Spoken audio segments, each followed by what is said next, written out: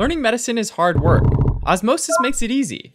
It takes your lectures and notes to create a personalized study plan with exclusive videos, practice questions, and flashcards, and so much more. Try it free today. Methemoglobinemia is a disorder characterized by elevated levels of methemoglobin in the blood, which leads to tissue hypoxia.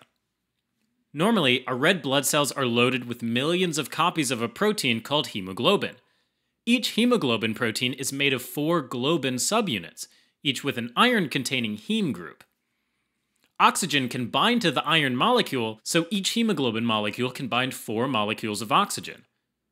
The iron molecules, called ferrum in Latin, are usually in the ferrous state, which means that the iron atom has lost two electrons to form iron 2 When iron is in the ferrous state, it can bind oxygen easily when it reaches the lungs, and release oxygen easily when it reaches the other tissues in the body that need oxygen as well.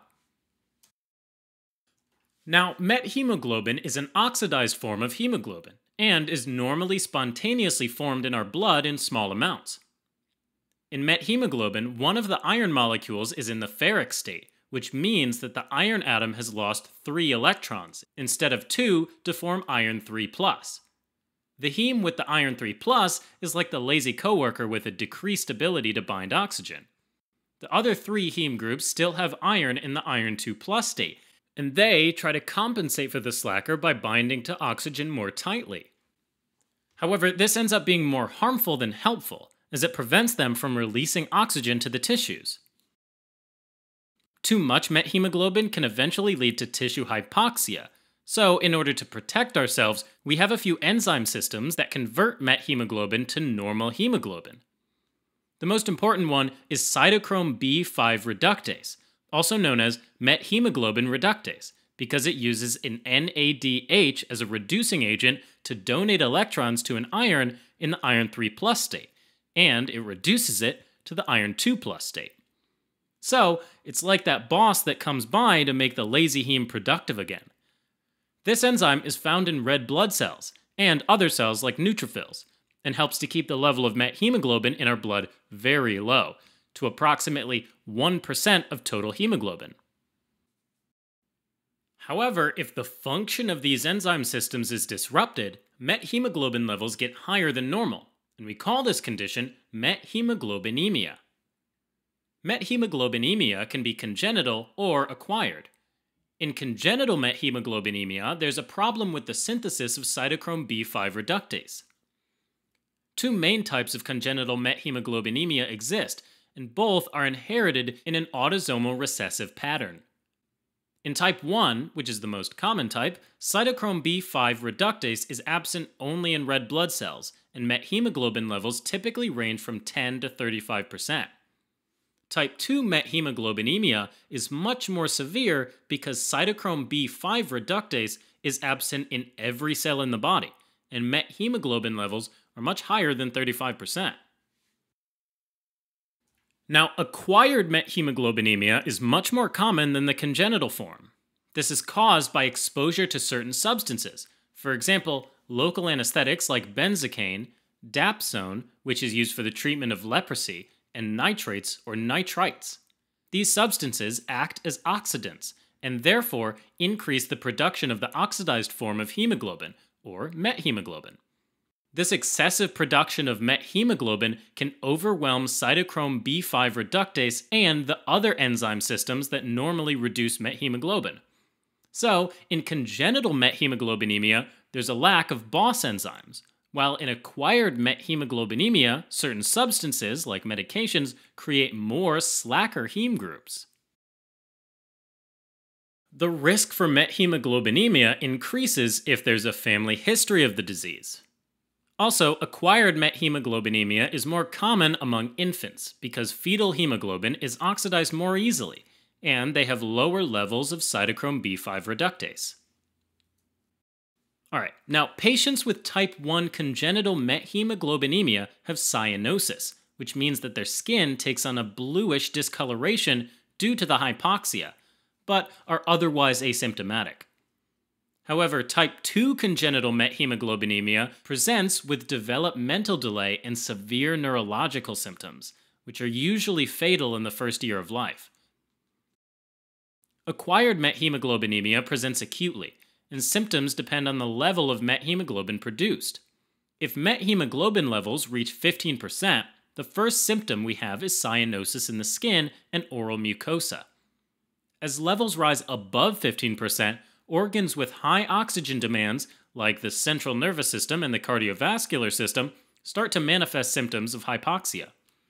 Typical symptoms from the central nervous system include headache, mental status alterations like confusion or syncope, seizures, and even coma. Cardiovascular symptoms include dyspnea, heart palpitations, chest pain, cardiac arrhythmias, and myocardial infarction. Levels that are higher than 70% are usually fatal.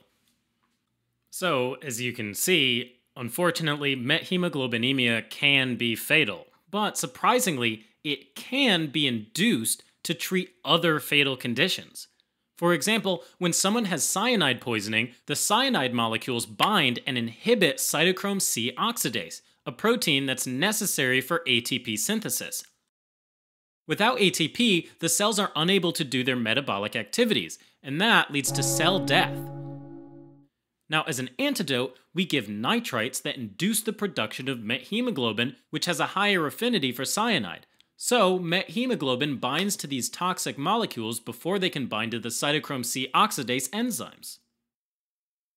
Alright, now as for diagnosis, people with methemoglobinemia will often have cyanosis. A fresh blood sample will show a characteristic unhealthy bluish chocolate brown color instead of the normal healthy red. They have normal partial pressure of oxygen, which means there's a normal amount of oxygen in the blood. Pulse oximetry, which shows the percentage of hemoglobin bound to oxygen, can be decreased, but this test is not very reliable. The most accurate test to confirm the diagnosis is a multiple wavelength co-oximeter, which is a blood gas analyzer that measures methemoglobin as a percentage of the total hemoglobin concentration in the blood sample.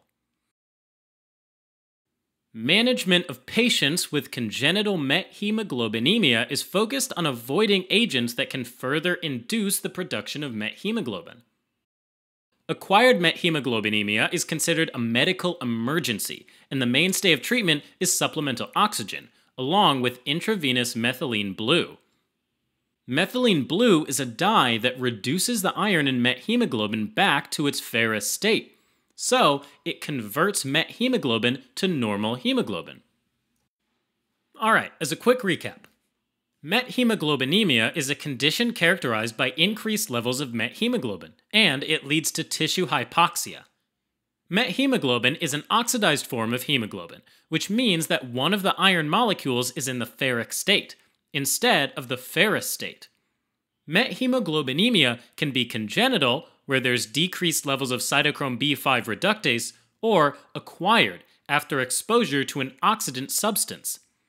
Symptoms include cyanosis as well as neurological and cardiovascular symptoms.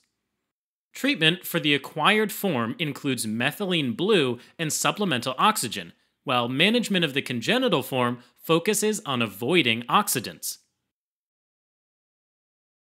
Thanks for watching.